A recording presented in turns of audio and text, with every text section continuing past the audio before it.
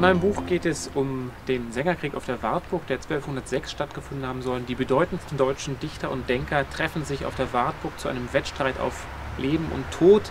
Alles im tiefsten verschneiten Winter, gewissermaßen eine Art Name der Rose mit deutschen Dichtern und Denkern.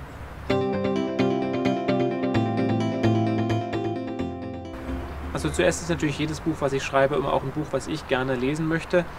Aber vor allem habe ich dieses Buch geschrieben, um all den Freunden des Mittelalters Lesestoff zu geben. Etwas authentischeres, lebendigeres Mittelalter als in den ganzen äh, Konfektionswaren, Mittelalterromanen, die man sonst so sieht. Also ein bisschen erdiger, ein bisschen, ein bisschen schauriger, ein bisschen lustiger, einfach lebendiger.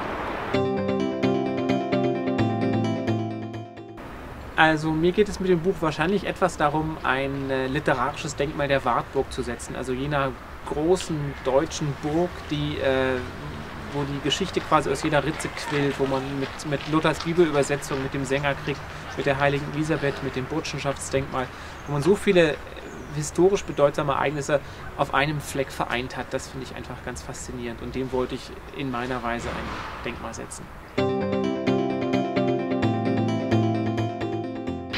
Denke, ich werde jetzt nach vier historischen Romanen einmal einen Gegenwartsroman schreiben. Also irgendwas, was äh, heute spielt. Aber was genau das sein wird, weiß ich noch nicht.